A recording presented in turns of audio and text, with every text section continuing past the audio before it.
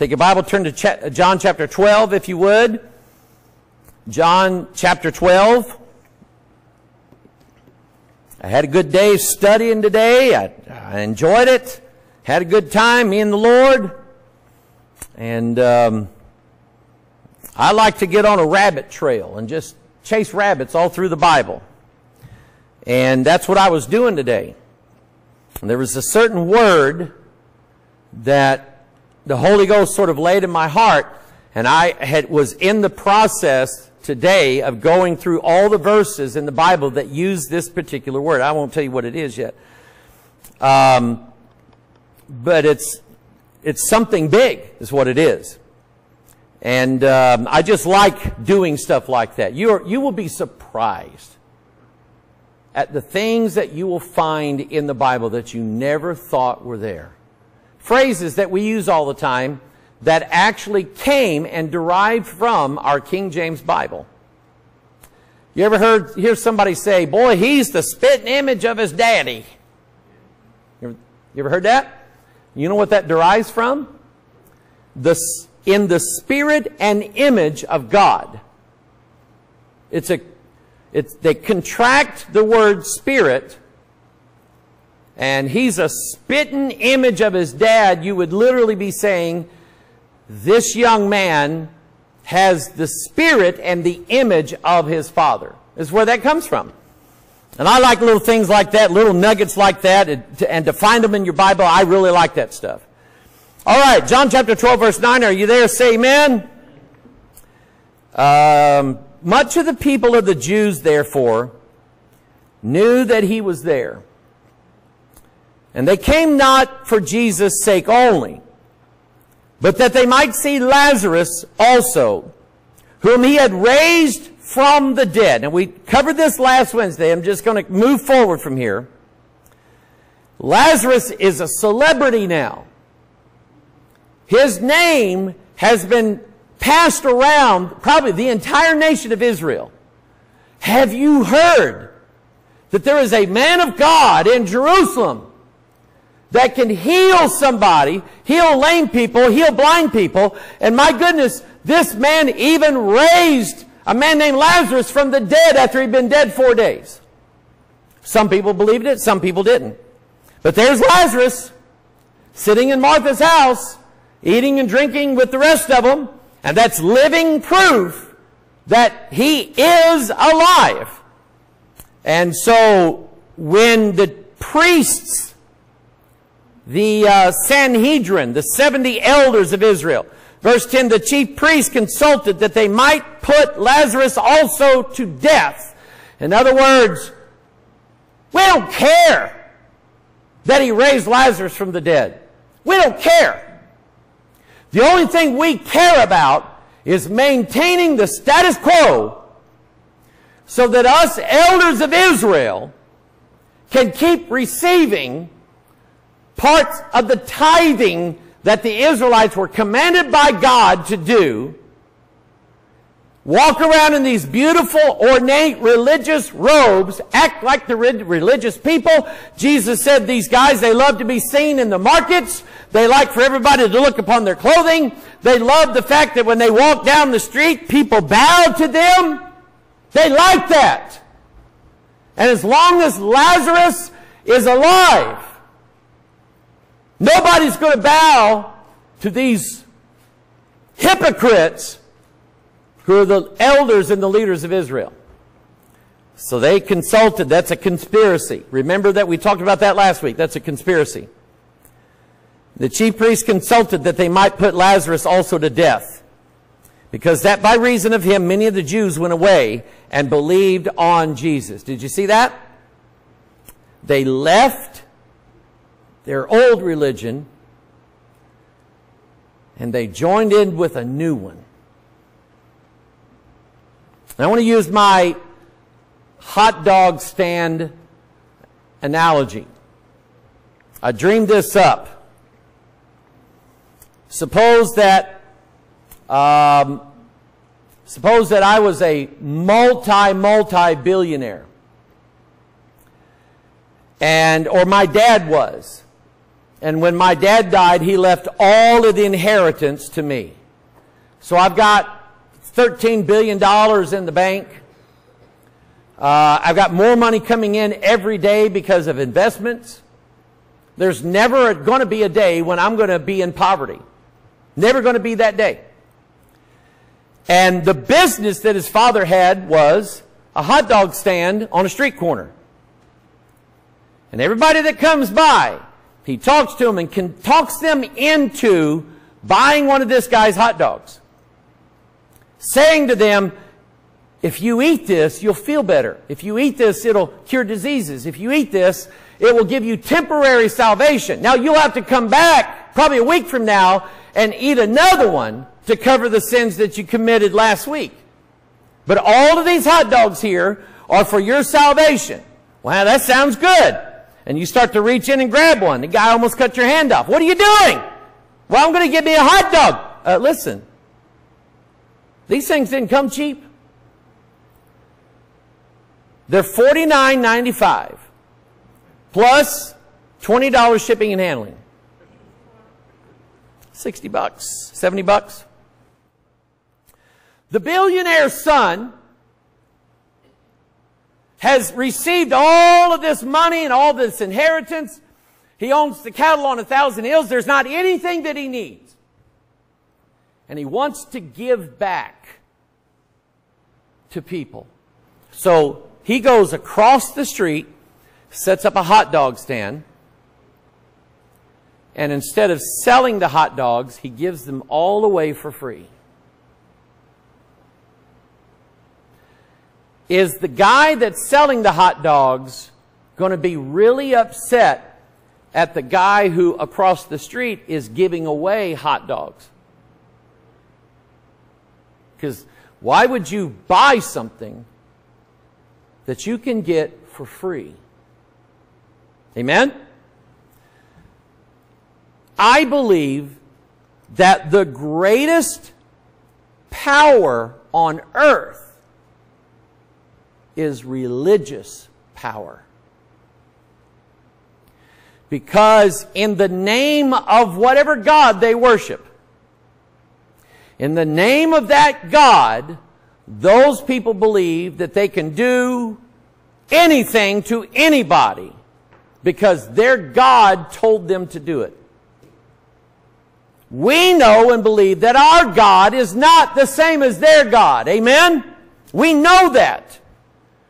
And so we are a threat to them because we will never fall down and worship their God. Never going to happen. Shadrach, Meshach, Abednego, never happened. They said, we're not going to bow down to that, and they didn't. And when everybody fell, it's quite obvious who's on the Lord's side and who isn't. When you look out over the field and you see everybody laying down on their stomachs and three men standing up. Okay? They had already decided there's only one God for us. He's never left us. I'm not going to leave him. At some point, my hope and prayer is that everybody who hears my voice, at some point in your life, conviction settles on you and you get along with God and you say, God, put this in me the way it should be so that I never walk away from you. Amen. So they want to kill Lazarus because Lazarus is living proof that Jesus is the anointed one, the Messiah. Verse 11, because that by reason of him many of the Jews went away and believed on Jesus. On the next day much people that were come to the feast, when they heard that Jesus was coming to Jerusalem, and I have the rest of that passage on here, so I'm going to move on. Uh, we talked about Ahithophel last Wednesday night, correct? Ahithophel? Okay. So I'm going to move on from there. Um, yeah, Nehemiah 4 7, we talked about this. Sanballat and Tobiah that were the enemies of the Jews. They hated the Jews. And um, I think this was Tyrus who set the Jews free from their captivity and gave them a, a piece of paper with his writing and his seal on it, allowing them free passage from Babylon to their home city of Jerusalem. And they had the king's authority to be able to walk out of Babylon and go to Jerusalem and rebuild it. Sanballat and Tobiah and the Arabians and the Ammonites and the Ashdodites, they represent the enemies of grace through faith. They represent the enemies of grace and faith for our salvation. And because their religion is making them huge profits, they're going to have to do away with this Jehovah God of the, of the Jews. They're going to have to do away with that because it's a threat to them. So the Bible says in Nehemiah 4 verse 7, But it came to pass that when Sanballat and Tobiah and the Arabians and the Ammonites and the Ashdodites heard that the walls of Jerusalem were made up, why are they building a wall? Protection. Be, uh, began to be stopped. Then they were very wroth. We can't have that. And conspired all of them together to come and to fight against Jerusalem and to hinder it. Boy, I tell you what. You're going to get up some Sunday here for too long, and the devil is going to pull out every weapon he's got to stop you from going to church. I've told this story before, but I'm going to tell it again because it matches perfectly with what I'm talking about. There was a man here when my mom started bringing me and Melissa here. There was a man here by the name of Mike. And I liked him.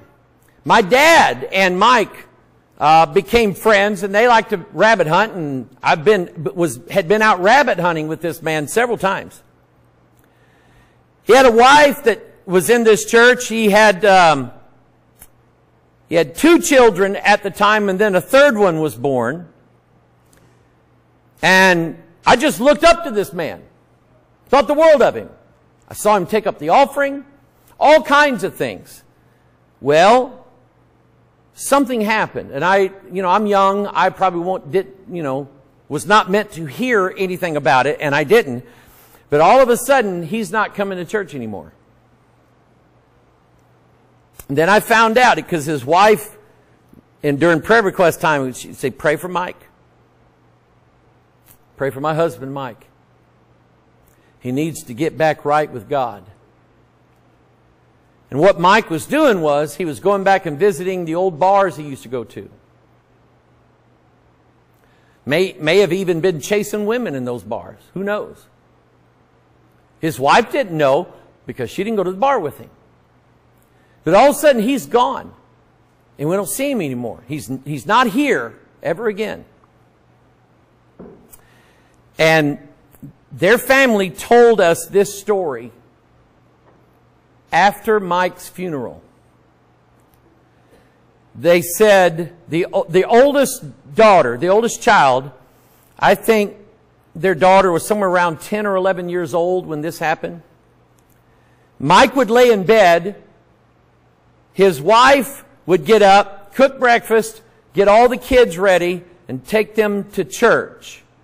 Now, years before, Mike was right along with them. But he would just lay in bed, act like he's asleep. One, one Sunday morning, his daughter went walking by their bedroom, and they noticed daddy wasn't in bed. She saw her dad pull out his suit. It was a Sunday morning. He pulled out his suit and was seriously considering going to church that morning. He laid that suit down on the bed. He looked at it for the longest time. Then he picked the suit up, put it back in the closet, shut the closet door, laid down, pulled the covers over his head, made it like he was asleep. Wasn't too long after that that we got word that Mike was traveling down 110 highway. Yet at night, in a very, very thick fog, foggy night, couldn't see the road, couldn't see anything. And they literally, piece by piece, dug the pieces of his brain out of the back seat of that car. That's how hard he hit whatever it was. I think it was the embankment. But he died just like that. Never knew what hit him. Drunk, drunk as a skunk. God was begging and pleading with this man. Get your heart right with God. Him standing there looking at his suit. He was ready to put that suit on and go to church with his family. But he decided not to. And I'm afraid that I know where he is. And it's not heaven. You will fight battles every day to do what's right. To say right things, to think right things, to look upon right things, holy things, clean things, not touch unclean things, not be defiled by what comes out of your heart. That happens a lot with us. We battle a battle. Every time God tells us to read our Bible, we come up with some excuse why we can't. God says, get up, go to church.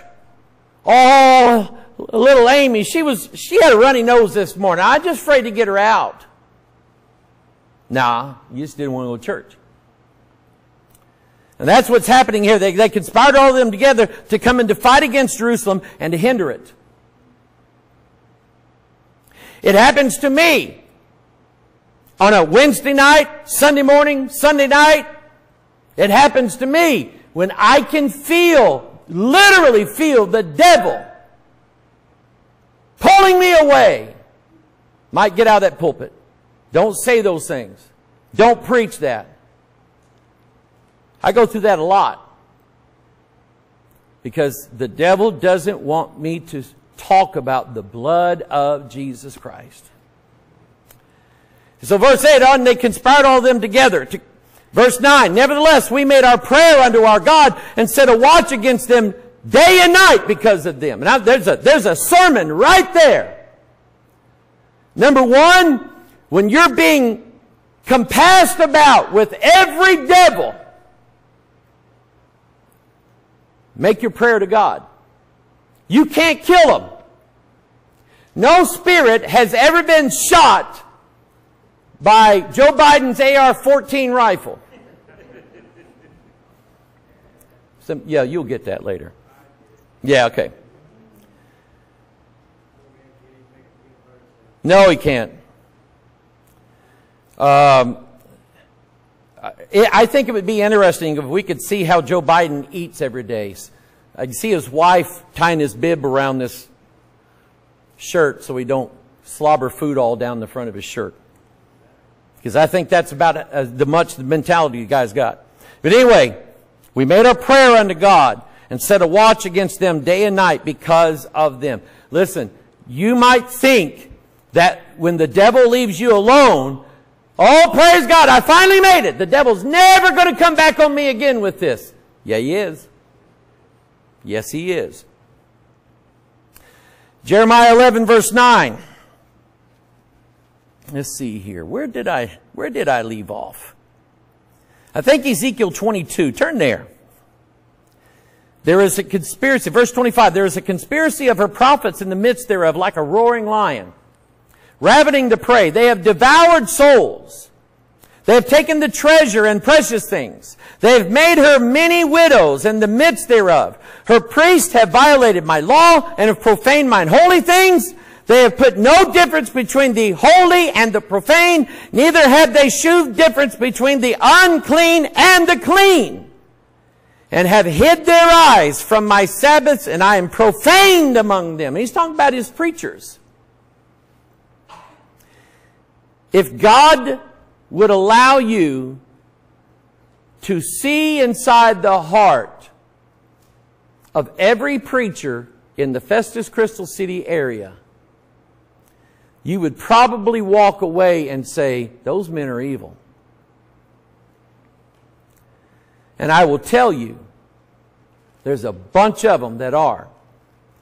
Roy, what'd you say tonight when you came in? About the Southern Baptist Convention?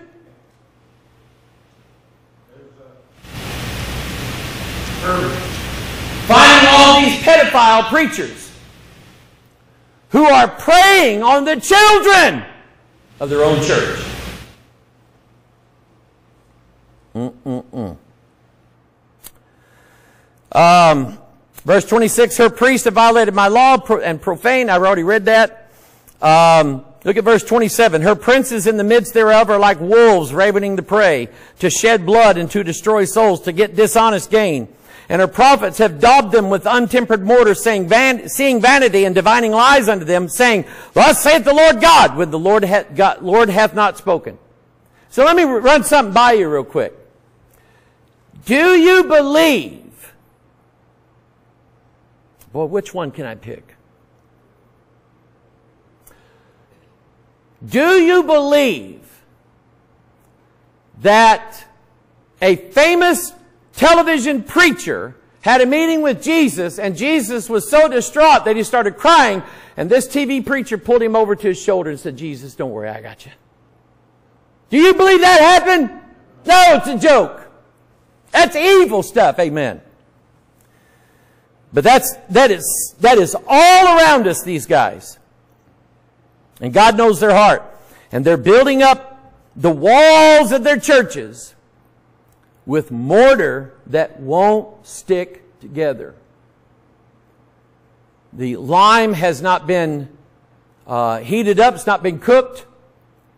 That wall is going to come tumbling down, and when it does, it's going to expose all the lies that those preachers told throughout their life. It's going to expose them for who they really are. John chapter 12. Um, let me get here and give you the t- context of this. John chapter 12. Let's see here.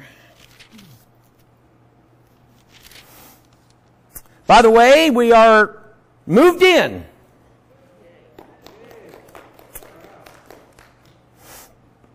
And we still got boxes unopened still. Um, John chapter 12. Uh, let's look at verse 12. On the next day, much people that were come to the feast, when they had heard that Jesus was coming to Jerusalem, we pick it up in verse 13. That's what's on the screen. They took branches of palm trees and went forth to meet him and cried, Hosanna, blessed is the King of Israel that cometh in the name of the Lord. Now, I think, if I remember right, I think I asked you what was the symbolism of them having palm branches in their hands? Why does the Bible, number one, have to mention that? Is it, is it important? If it's in the Bible, it's important. I mean, you just must settle that right now. If it's in the Bible, God has a really good reason for it to be there. But all these people, they see Jesus riding in on this donkey, and these people are celebrating him as their king and they're waving palm branches in their hands. You know what they're doing. Did anybody look into that last week? Come on, Gary. I thought for sure you'd just take it and run with it, right? Oh man, that's a mark against every one of you. Yeah. Uh, look at verse at 14. And Jesus, when he had found a young ass, sat thereon, as it is written, Fear not, daughter of Sion, behold, thy king cometh, sitting on an ass's colt. This was said a thousand years before Jesus ever showed up. This was said. Man, I love that. How is it that that prophet, a thousand years before Christ ever did this, how was it that he knew that when Jesus entered Jerusalem, which was going to be the capital of his kingdom, that when he came in, he would come in riding on a donkey? How did Isaiah know that? Holy men of God spake as they were moved by the Holy Ghost. Uh, verse 16, these things understood not his disciples at the first, but when Jesus was glorified, then remembered they that these things were written of him. Now, and that they had done these things unto him. Now, uh, I'm going to say something about those who spend a lot of time studying Bible prophecy. You have an example right here where Jesus pretty much plainly told them what was going to happen. And because it hadn't happened yet, they didn't understand what Jesus was talking about, what Isaiah was talking about. They didn't understand it. But when they saw it, and after he died, and they're sitting, you know, the disciples sitting there talking and said, Oh, you remember when he came into Jerusalem? He was riding on the, uh, the, uh, a donkey? Yeah, I remember that. I was, well, I was reading in the Old Testament the other day. I found that verse, and Jesus fulfilled that prophecy. And they're all getting happy, amen. But they didn't understand it fully until after it happened. And this is my point on this. Anybody who tries to tell you that they are some big prophecy expert, they're just puffing themselves up. They say they've got it all figured out. Generally, they will make teachings on it. They will write books about it. They'll make DVDs or videos or whatever. And they want to sell you those things. They will tell you, oh my goodness, you need this teaching. You will not be able to make it through life and make it into eternity until you have this teaching. And then the guy comes on and says, you can have this teaching for your love offering of $49.95 plus $20 shipping and handling. Here's my point. There's a lot of things in this Bible that I absolutely believe 100% they're true, but they haven't happened yet. And because they haven't happened yet, I can't fully picture nor fully, fully realize how it's all going to play out. I don't, I can't see that. But I do trust the book. I trust it. And so, prophecy is best understood either at the time it's fulfilled or shortly after it's fulfilled. I mean, Gary, didn't Jesus tell his disciples that one of them was a traitor? And they're all looking at each other. Who's the traitor? Jesus knew who it was, and Judas knew who it was. Nobody else did. But after the cross, and they're told that Judas is hanging by a rope by his neck out in the field called Akeldama, the field of blood. And apparently, and eventually, I know this is gross, but he's hanging there on a rope. And after about five or six days, it's not the rope that breaks. The tissue is dissolved and it just collapses into a great big giant vat of jello. Because that's about what it ends up being. It's best understood after it happens or while it's happening. But we can still believe and trust that if God said He's going to do it this way, He's going to do it exactly that way. Amen? Amen. These things understood not as disciples at the first, but now they understand it. Genesis 33. What is the, what is the palm branches? Do you know what? I'll, I'll just go ahead and tell you where I'm going. This is already after 8 o'clock. But I want to go, I want to go ahead and tell you what I think about this. And I know the verse. No man knoweth the day or the hour in which the Son of Man cometh. But I also know some other verses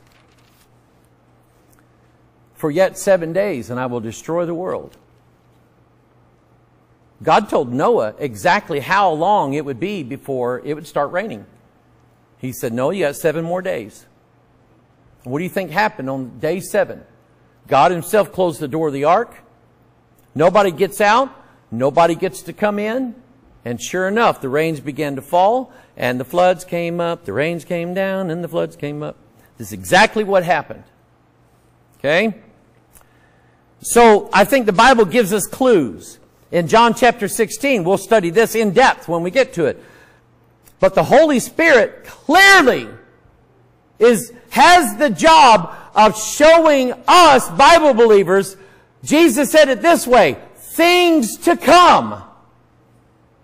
If you want to understand prophecy, don't read some bozo's book that you find at Amazon.com. And certainly don't watch some idiot's videos on YouTube. Oh, I was trying to point at him. I don't know nothing. But I trust God. I trust His Word. So now watch this. I think this is a clue. Genesis 33. Genesis 33 is the reunion of Esau and Jacob. Now they'd been apart all this time because Jacob stole his birthright and uh, had his inheritance. And Esau was going to kill his brother Jacob. If I, if I ever see him, I'm going to kill him. Well, time has passed. And the older we get, sometimes we forget how bad we hate people. Or we get to a place in life where we've been feuding for years and we get to a place in life where we say, what was it all about anyway? Amen? So Esau returned that day on his way unto Seir, and Jacob journeyed to Succoth, and built him an house and made booths for his cattle. Therefore the name of the place is called Succoth. What does the word Succoth mean? Just take a guess.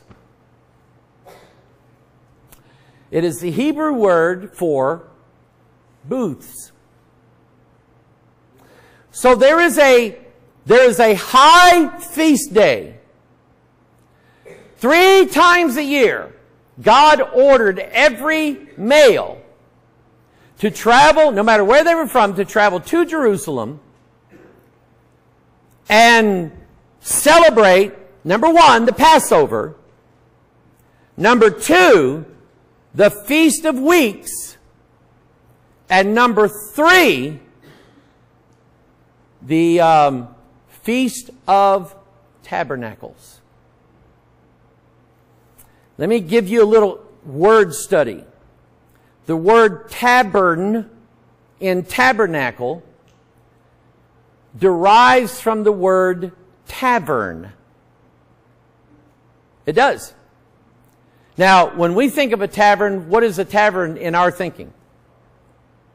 Roy, what's a tavern? Bar. But for thousands of years, they didn't use the word that way. This is back before the days of Holiday Inn, Motel 6, Trump Towers. This is before all of that. And if you were traveling and taking a long journey, your hope was that you could make it to a certain village or city where more than likely they would have a tavern there.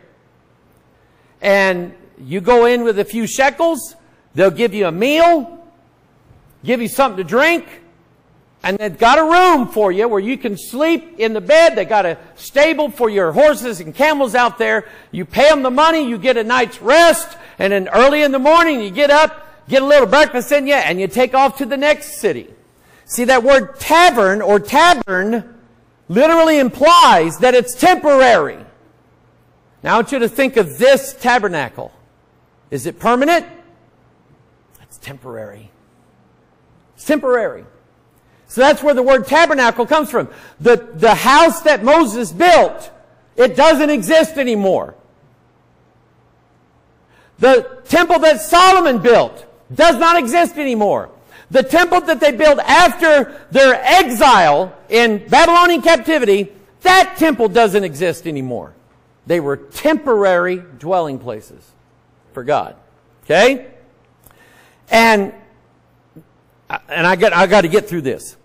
Uh, verse 18, and when Jacob came to Shalem, do you know what the city of Shalem is? Take a wild guess. Jerusalem. He was in Salem, the city of God. No, what does shalom mean? City of peace. Amen.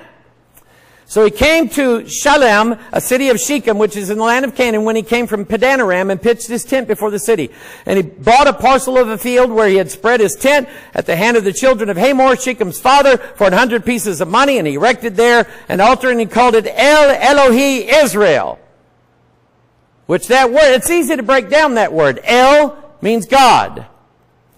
Elohi means God. Israel, of course, means the, the tribe of Israel, the people of Israel. And what this name is, is that our Lord is the God of Israel. Amen.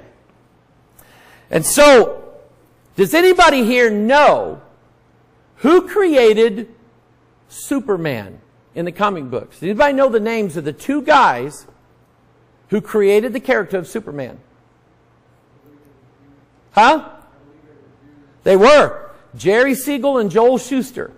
They were two Jewish men. And I, listen, I'm telling you, they studied the Kabbalah and they knew exactly what they were doing in there. Because the family name that Superman came from on the planet Krypton, the word Krypton means secret. Cryptic, like cryptography. And they created this character who on the planet Krypton came from the house of El. Superman was Kal-El and his father was Jor-El. And listen, those two guys, they were Jews. And they put in Jewish socialist theosophy, theology in there. You can see it. Okay? But anyway, I gotta move on. I, I gotta show you the, the booths here. The palm branches. What's so significant? Uh, Revelation, let's see, is this where I want? No. It's not what I want. Go to uh, Revelation chapter 7. And why isn't that in my notes? Let's see here. No, no, I don't have it in my notes. What did I do wrong? Revelation chapter 7. In verse 9, after this I beheld, and lo, a great multitude which no man could number, of all nations and kindreds and people and tongues, stood before the throne and before the Lamb, clothed with white robes and palms in their hands. What did they have? They had in their hands exactly the same thing that the believers of Jerusalem had in their hands when Jesus came riding into Jerusalem. For you see, when Jacob built those booths in Succoth, he used, you know, logs for the framework, but he used palm branches for the walls and the ceiling, the roof. There is a high feast day, and it's called the Feast of Tabernacles. And in the law, God specifically said, Take ye of the palm branches, and there was a couple other things they could use, and build ye booths, and dwell in them for seven days. And if you'll do that, I will come in and be there with you, and I will be your God, and ye shall be my people, saith the Lord. That's the symbolism of it. So here's Jesus riding into Jerusalem. And they're waving palm branches. You know what they're doing? They're foreshadowing a future event. Now, the Feast of Tabernacles is the it's the unfulfilled prophecy. Passover was all about slaying the lamb and using the lamb's blood as protection against the destroyer. And when did Jesus offer himself as the Lamb of God that would take away the sins of the world to protect his people from the death angel? When did Jesus do that? At Passover. Jesus fulfilled the meaning of Passover at Passover. It kind of makes sense, doesn't it? And then you have the Feast of Weeks, We're at 49 days, and then on the 50th day, they have the, the harvest, the ingathering. And lo and behold, on the day of Pentecost, the Holy Ghost came down. So here's God fulfilling another feast, the Feast of Weeks, the Feast of the Harvest. And he does it exactly on the Jewish calendar, the exact day that he told them that they were to celebrate this feast. The Holy Ghost comes down on all of them and makes all of them fruitful. Right? So the Feast of Tabernacles.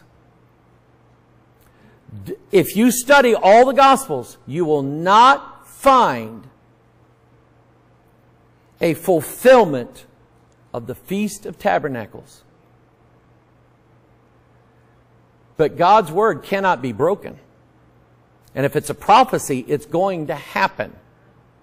And I absolutely believe that Christ is going to come down and He's going to dwell with His people and we are going to dwell with Him forever and ever and ever and ever. In fact, here we are in Revelation 7. Me, you, you, you, you, you, you, you. We're all in the same place. And what are we holding in our hands? Palm branches. Why? Because we're fulfilling the Feast of Tabernacles. We're literally, we're going to sup with Christ. Amen.